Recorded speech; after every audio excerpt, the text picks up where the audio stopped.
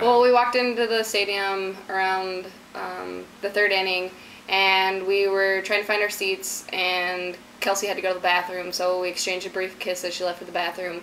And then I saw a security guard walking towards me, like shaking his head at me, and it was pretty clearly, you know, that he was upset with me for some reason. So I asked him, you know, what his problem was, and he said, his, he said, I saw you kissing that girl. You can't do that.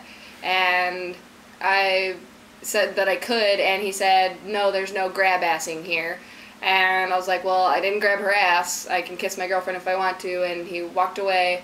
Um, and Was there was there any touching or anything that would lead There's him a, to a hug.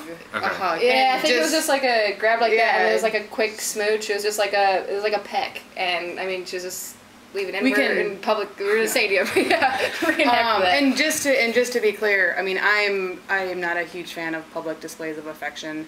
You know, I think a lot of people go a little over the top, but that definitely was not the case. Um, it was just a quick kiss exchange. Yeah, definitely not all. anything that someone would consider like inappropriate.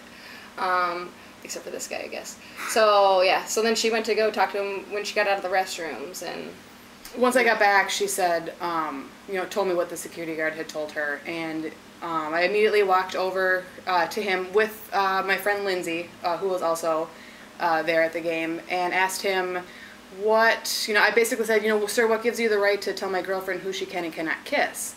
And he he pointed to me and my friend Lindsay, saying, you know, you two can't do that here. And I checked it up to, you know, basic profiling because Lindsay had nothing to do with the incident. It was me and Taylor. I reminded him of this, and he said, um, "Well, there's no grab ass here, and here in the stadium, you know, you have to adhere to the Ten Commandments."